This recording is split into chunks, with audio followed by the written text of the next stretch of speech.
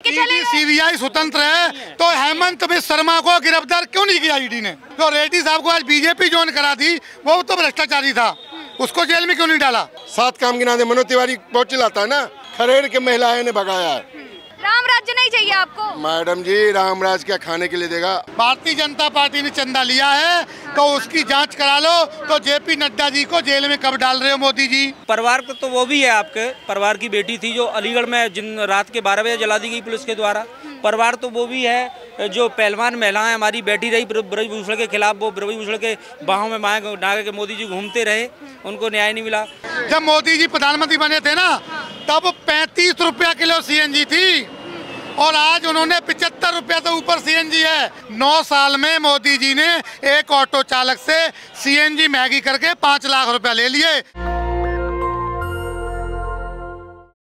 नमस्कार मैं नूर झा और जिस तरीके से केजरीवाल की गिरफ्तारी के बाद लोग जो है सड़कों पर उतर रहे हैं प्रदर्शन कर रहे हैं उसके बाद कह रहे हैं कि मैं भी केजरीवाल। सर क्या कहेंगे केजरीवाल की गिरफ्तारी के पीछे क्या लग रहा है? केजरीवाल जी का गिरफ्तारी एक साजिश है। और यदि मनीष सिसोदिया जी एक साल पहले बीजेपी ज्वाइन कर लिए रहते तो आज दूध के धुले हो गए। और सबसे बड़ी है यदि भ्रष्टाचारी को आप अंदर कर, हेमंत बिस्वा शर्मा को अंदर करिए, जो आपने चिल्ला चिल्ला के लोकसभा और आपका ईडी ने कहा। अजीत पवार को अंदर करिए। यदि हमने करे, ईडी करा, कोर्ट करा। दूसरी बात वही आदमी, जो अरविंद केजरीवाल जी के केस में गवाह है। तीन महीने तक हम अरविंद जी को नहीं जानते हैं। उसके बाद में पचपन करोड़ रुपए उनके फंडिंग जाता है बीजेपी को। तो बड़ा भ्रष्टाचारी कौन हुआ? जेपी नड्डा। और पचपन करोड़ रुपया के बाद में सरकारी गवाह बन जाता है उसका उनका जमानत हो जाता है। फ़िलहाल आरोप तो केजरीवाल पे लग रहे हैं ना। तो सबूत कहाँ है? आरोप से क्या हो जाता है? हाँ। हमने कह देंगे बहन जी को मैं तीन करोड़ रुपया दिया हमारे पास कोई सबूत है क्या? कोई सबूत मिला होगा तभी तो लेके गए हैं ईडी सीबीआई वाले। मनीष सिसोदिया में चार्जशीट क्यों नहीं पेश हुआ? जो सिस्टम है तीन साल छह महीने में।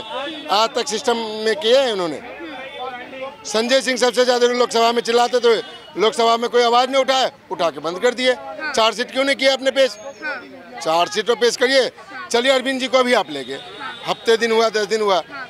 लेकिन मनीष सिसोदिया का साल भर हो गया ऐसा कोई कानून में है जो साल भर तरीके से तो सभी उनके नेता अंदर जा रहे हैं आम आदमी पार्टी टूटती हुई नज़र आ रही है इसलिए- अरविंद केजरीवाल तक अंदर जा चुके हैं। इसलिए क्योंकि भ्रष्ट जनता पार्टी भ्रष्ट जनता पार्टी के साथ में भ्रष्टाचार करो अब बाहर रहोगे।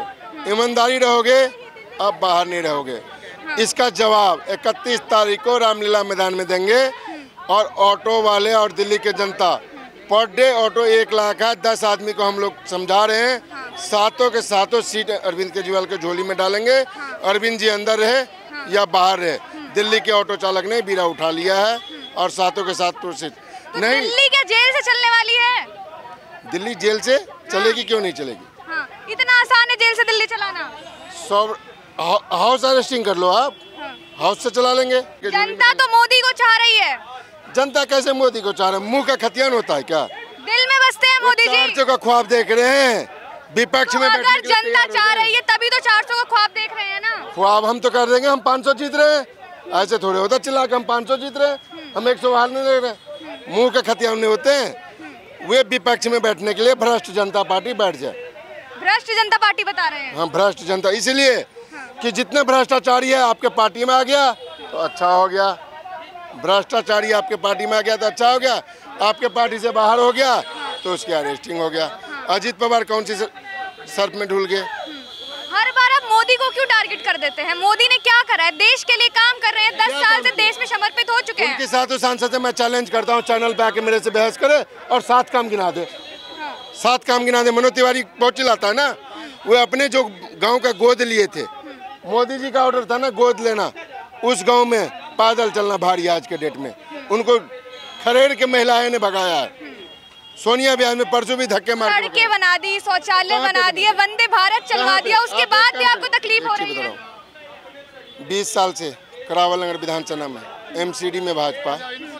बीस साल से बीस साल से विधायक मोहन सिंह बिष्ट करावल नगर में। कितने साल से? बीस साल से। बीजेपी सांसद दस साल से। अब किसको करावल का जनता वोट दे? बीजेपी को दिया ना? अब करावल में कौन सी रोड कौन सी सड़क कौन सी गली बन है कौन सा मोहल्ला बनाया बता दो आप मेरे को। आपको नहीं दिख रहा है कि सड़कें कितनी सही बना दी है? शौचालय नहीं दिख रहे शौचालय बना दिए हैं। मैडम जी यदि पैदल कोई बच्चा जाएगा तो उसके घुटने फूट जाते हैं करावल नगर विधानसभा में। करावल नगर विधानसभा में सबसे पिछड़ा विधानसभा है दिल्ली का। और उन्होंने भाजपा ने खत्म कर दिया उस विधानसभा में। जो तिवारी ने मनोज तिवारी जी ने गोद लिया था उस गाँव का जा रहा है जो मोदी विरोधी वो देश विरोधी तो देश विरोधी हैं क्या आप? क्या हम भारत के जनता नहीं है क्या? भारत के नागरिक नहीं है क्या? मोदी विरोधी क्या? हम जनता नहीं है भारत के क्या? हम मोदी का विरोध जो बीजेपी का विरोध करेगा दे, वे देश को बचाने आया है। जो मोदी का विरोध करेगा वो देश को बचाने आया है। सही कह रहे हैं जो मोदी का विरोध करेगा वो देश को बचाने आया है? जी हम लोग ईम- ईमानदार सरकार के साथ में हूँ। और ईमानदारी के साथ केजरीवाल ने इतने सारे मतलब काम किए हैं। इनको बिजली पानी स्कूल। अब ये जो पोस्टर लेके खड़े कि मोदी का सबसे बड़ा डर केजरीवाल को क्या क्या है इसका मतलब? क्या क्यों पहना है ये? केजरीवाल जी को जेल में को डाला है इसलिए हम लोग बताएँ भ्रष्टाचार डर गई है क्या मोदी सरकार हाँ जी हाँ जी हाँ जी को डर गए हैं। डर गए। कोरोना काल में केजरीवाल जी ने पाँच पाँच हज़ार रुपए हम ऑटो वालों को दिए थे इसलिए हम लोग मतलब केजरीवाल जी के साथ हैं। जब आफत आया तो दिल्ली के सीएम ने खड़ा हुआ। हम ये कहते हैं यूपी में भी ऑटो चलता है पंजाब में भी चलता है पूरे इंडिया में ऑटो चलता है। बीजेपी इतना अच्छा पार्टी है तो पूरे हिंदुस्तान में कोरोना काल में कहाँ पे हेल्प किया कौन सा ऑटो वाले को ये बता दे? हमारे पास तो डाटा है और वो डाटा लेके रामलीला मैदान में इकतीस तारीख को फ्री बीस हज़ार ऑटो चला के पहुँचाएँगे वहाँ पब्लिक को। फ्री सेवा करेंगे फ्री में फ्री सेवा करने वाले हैं। फ्री सेवा करेंगे और तन मन धन सब लगाएँगे क्योंकि आफत में जो साथ देता है ना आप खुशी तो भूल जाओगे गम नहीं भूलोगे। लेकिन उनका ये कहना है कि जो 10 साल में भाजपा सरकार कर दिखाई और 70 साल में कांग्रेस पार्टी मैं तो कुछ नहीं देता हूँ मनोज तिवारी अपनी लोकसभा में दिखा दे जो दस साल में एक काम किया हो अच्छा कौन सा स्कूल बना लिया? कौन सा पाठशाला बना दिया? कौन सा हॉस्पिटल खोल दिया? कौन सा क्लिनिक बना दिया? मनोज तिवारी ने प्रवक्ता है ना दिल्ली प्रदेश देशों में नाम हो रहा है भारत का। विदेशों में क्या जब हम इंडिया में नहीं बचेंगे तो विदेश क्या करने जाएँगे? जब पैसा होगा तब तो जाएँगे। और वो कहते राम मंदिर बनाए राम मंदिर सुप्रीम कोर्ट ने बनाया। और राम यहाँ है हिंदुओं के दिल में।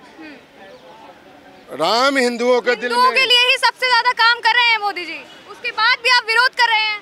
हिंदुओं के लिए हुए तो कहता जो बीजेपी का बुराई करेगा वो हिंदू नहीं है। उनके कौन से संविधान है कौन सी में है? क्या? जो उनको विरोध करेगा या उनके सच्चाई बोलेगा एना दिखाएगा वो हिंदू नहीं है?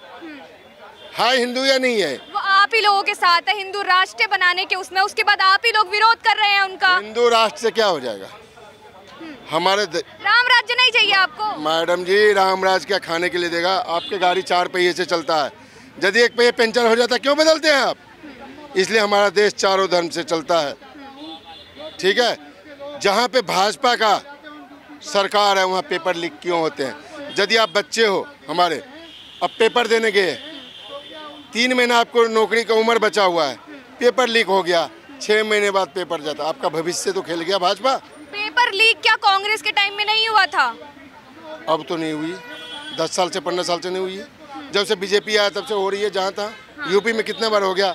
अभी राजस्थान में नहीं हुआ था पहले। अब सरकार इनका बना पेपर लीक हो गया। तो हमारे बच्चे से खेलेगा वो देश से खेल रहा है।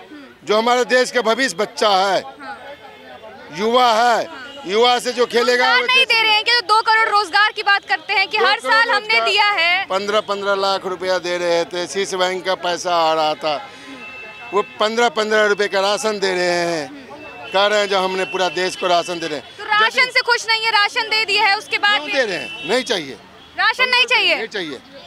यदि आप फ्री दिए तो अच्छा है। हम फ्री दिए तो गलत है। भी आम आदमी पार्टी ने बिजली पानी फ्री दिया तो देशद्रोही हो गया। और मोदी जी पूरे देश को भिखारी बना दिए। पंद्रह रुपए का राशन देते हैं किसी को बीस रुपए का। देना है तो उसको मकान टोटी अब पानी करें। मैं ऐसे ऐसे विधानसभा दिखाऊँगा जहाँ पे उनका नीतीश जी है बीस साल से। ऐसे ऐसे गाँव दिखाऊँगा जो एक एक किलोमीटर से पानी लाते हैं। आवास योजना के तहत मकान तो मिले ही होंगे सबको?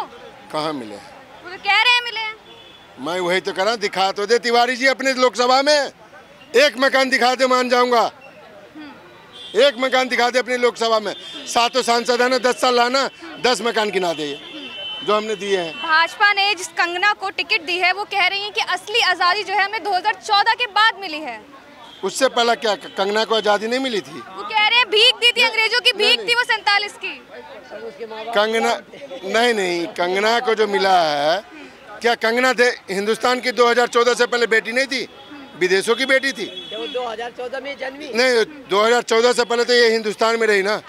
कंगना और कंगना एक एक्टर है। कंगना अच्छी है ऐसी बात नहीं है मैं बुराई नहीं करना नहीं चाहता। लेकिन अंधभक्त है।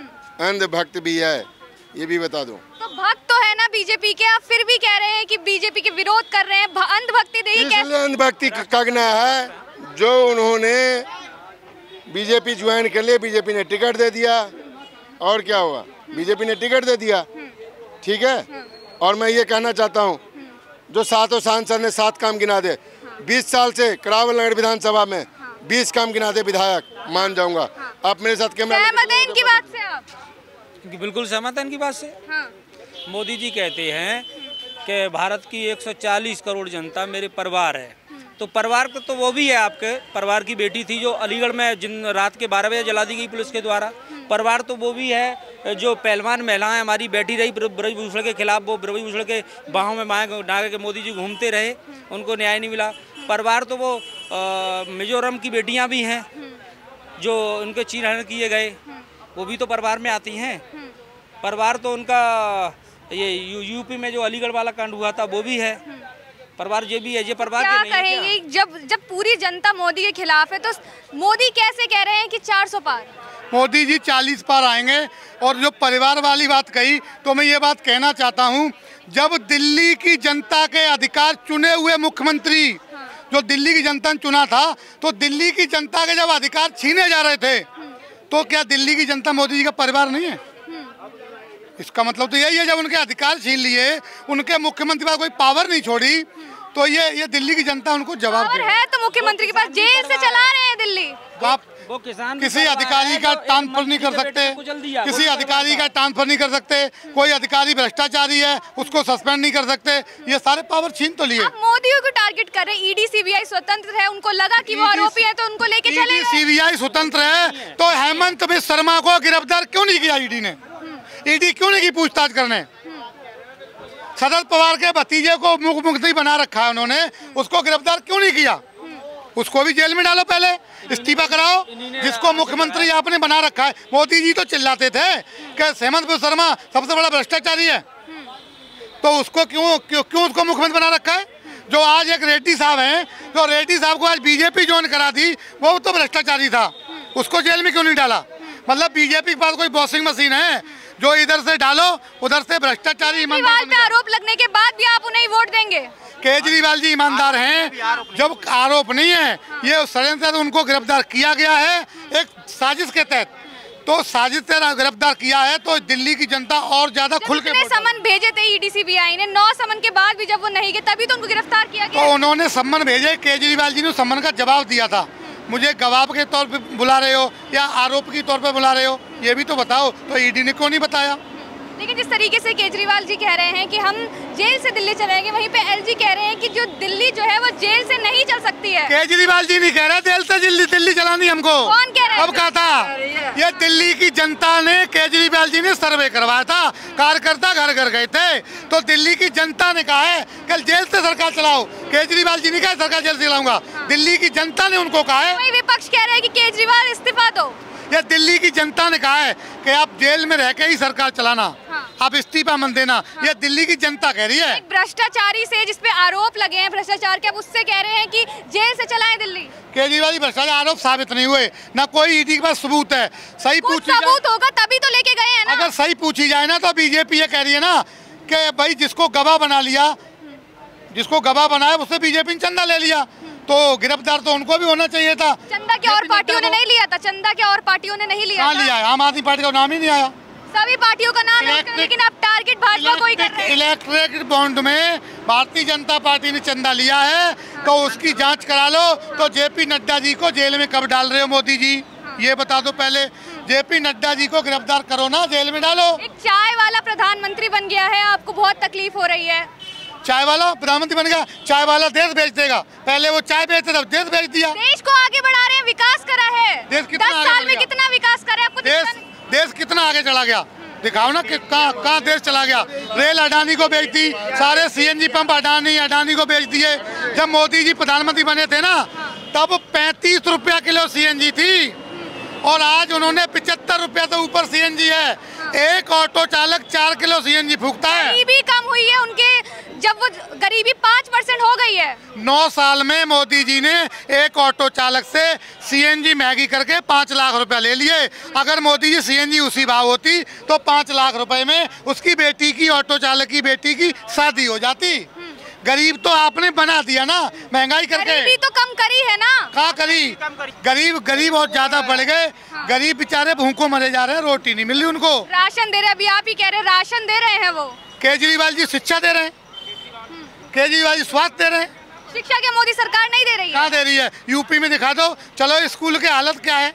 चलो राज्य हरियाणा में दिखा दो। क्या हालत है? दिल्ली के स्कूल देख लो। हाँ। इतनी सुंदर सुंदर बिल्डिंग बना रखी है केजरीवाल जी ने। अपने टीचरों को विदेश में ट्रेनिंग लेने के लिए भेजते हैं। जिस तरीके से केजरीवाल जी गिरफ़्तार है उसके बाद पार्टी तो टूटती हुई नज़र आ रही है। पार्टी बिल्कुल एक कहाँ टूटी है।